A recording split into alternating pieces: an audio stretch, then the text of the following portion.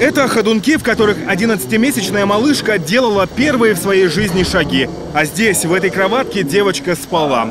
Утром 28 июля тело ребенка обнаружили на лестничной площадке двухэтажного жилого дома.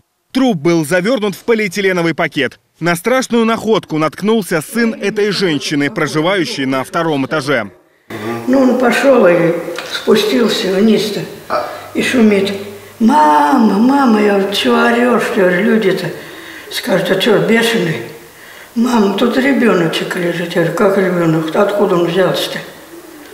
Жильцы незамедлительно сообщили в правоохранительные органы. Вскоре оперативники установили личность матери. Правда, задержать ее пока не удалось. Известно, что женщина 93-го года рождения. И это не первый подобный случай. Ровно два года назад у нее же умер мальчик. Почти неделю она ходила с ним по городу и даже посещала увеселительные заведения. Но тогда уголовное дело возбуждать не стали. Как было установлено, ребенок умер от инфекционного заболевания. В ситуации с девочкой все иначе. По предварительной информации, малышка скончалась из-за черепно-мозговой травмы.